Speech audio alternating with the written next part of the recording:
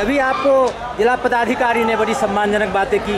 आप जिला प्रशासन को क्या कहेंगे मैं बहुत बहुत धन्यवाद करती हूँ। मुझे उस लायक समझे कि मुझे इलेक्शन कमीशन का आ, इस डिस्ट्रिक्ट का आइकॉन बनाया गया। मैं काफ़ी भाग्यशाली समझती हूँ। मैं मधुबनी से बिलोंग करती हूँ।